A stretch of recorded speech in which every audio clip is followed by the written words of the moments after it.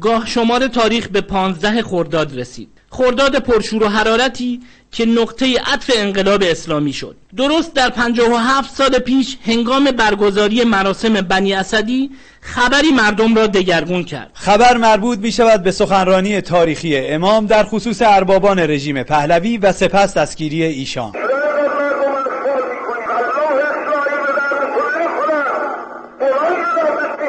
مردم برامین و پیشوا که طاقت شنیدن دستگیری مرجع خود را نداشتند کفن پوش دست به قیام می‌زنند. توجه توجه توجه. یه مرتبه این جمعیت که تو سن بود همه سکوت کردن. گفت امروز ازای ما دوتاست یکی روز سوم ازای امام حسین یکی هم دیشب معموری شاه ریختن تو خانه آتل خمینی.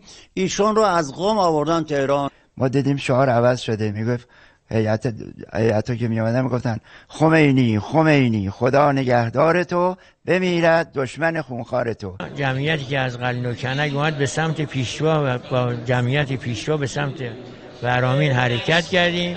از جاده قلسین آمدیم بین راه گفتن مردم جهاده دارین کجا میرین؟ ممکنه بر نگردین. گفتن نه ما میریم با پدرم با هم بودیم. این جاده ورامین به سمت باقرآباد مثل یه تنه درختی بود. که این شاخه ها میپیوست به این اد می شود تنه درخت. قطع همه جا می اومدن اما در نزدیکی پل باقرآباد گارد شاهنشاهی با بستن راه مردم آنها را به گلوله میبندند. یه سرهنگ بهزادی با یه دو تا کامانکار ارتشی اینا اومدن به اصطلاح سربازار خالی کردن. یه حالتی گازنبوری به خودشون دادن. جمعیت اینطوری جلوش بستن به همچین حالتی.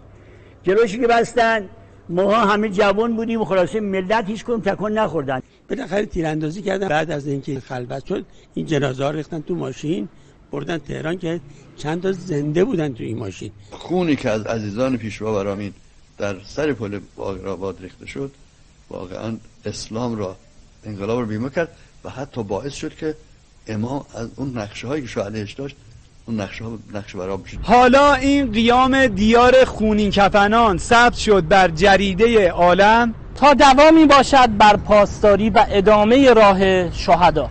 اگه خوابی اگه بیدار یاد من باش.